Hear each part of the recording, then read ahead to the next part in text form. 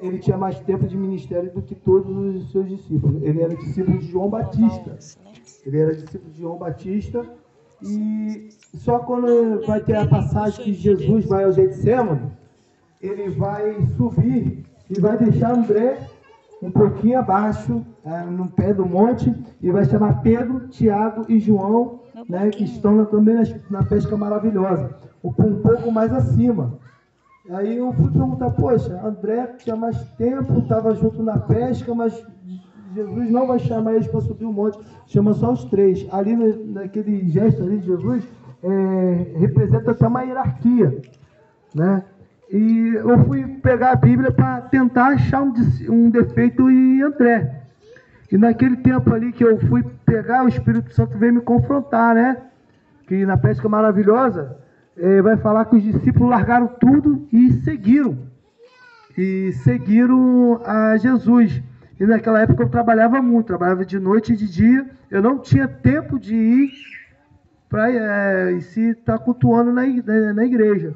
Então aquilo ali foi uma palavra, né? Então toda vez que eu escutava aquele louvor, amanheceu, nada pesquei, parecia pena, da pesca maravilhosa, irmãos eu falava que era um louvor herético, um louvor errado, né? Porque se os discípulos largaram tudo e seguiram, assim que diz essa palavra, a pesca maravilhosa, eu achava que aquele louvor não tinha nada a ver, era um louvor mais que o homem fez aquele, esse louvor, né? Mas certo dia, né? Estava em casa, cheio de problema, né? O casamento não estava indo de bem, mal a pior. Eu fui né? Eu fui lá para um terreno que tinha comprado, né? E fui capinar para ajeitar o terreno para me, me separar. Eu tinha acabado de capinar o terreno, voltando para casa, o, um dos meus vizinhos lá falou: Henrique, eu tenho um louvor para cantar para você, varão.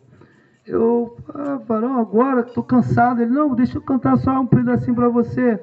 Aí quando ele começou a cantar esse louvor, amanheceu, nada pesquei, parecia apenas ser um dia como qualquer outro.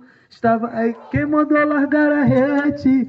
Quando, irmão, quando ele começou a cantar, falar essa parte, quem mandou largar a rede, eu pude entender, eu pude entender o significado, que a palavra ela é viva, eficaz. De repente você escutou uma palavra, né, de uma certa forma, que não veio de encaixe naquela hora ali para você mas pra, de repente está sendo para outro irmão que está do seu lado, né? Assim como a oração dominical, quando é, é, está orando aqui, né? Pai nosso que está no céu, santificado seja o vosso nome. Perdoai as nossas dívidas, assim como nós perdoamos